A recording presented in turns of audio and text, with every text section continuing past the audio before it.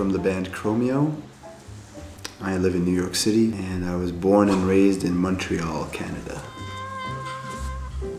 I grew up with what you could call like the hip hop generation.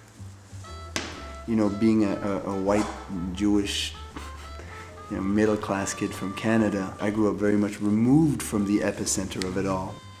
Watching videos uh, and, and basically idolizing you know, people like Mobb Deep and Nas and, and Wu-Tang Clan.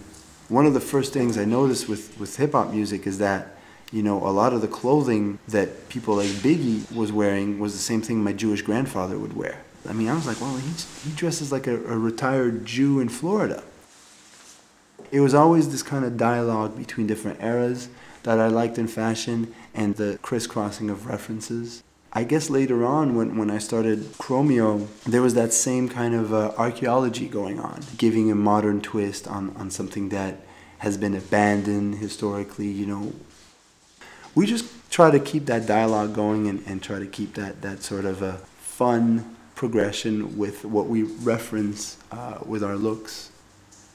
There's no such thing as pure repetition because every time you repeat something, you're repeating it in a new context. It's about digging in the past and, and sort of recontextualizing things.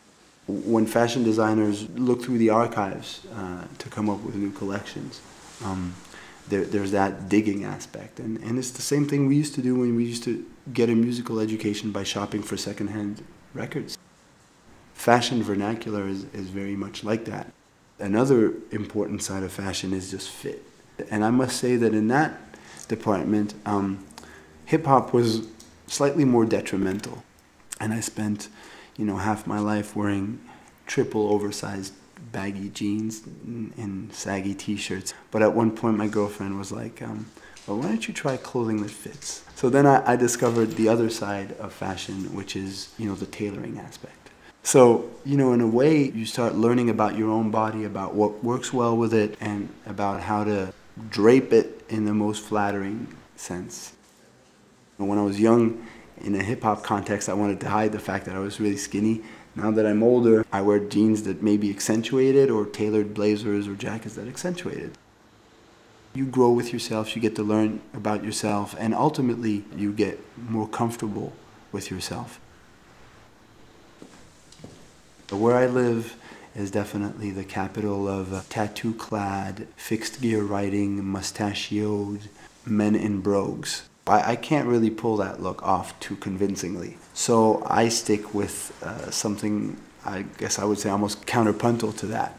I still like wearing leather jackets, tight jeans, Chelsea boots, or like a really well-fitting, elegant blazer that you subvert a little bit by wearing just a t-shirt underneath or wearing it open so on and so forth.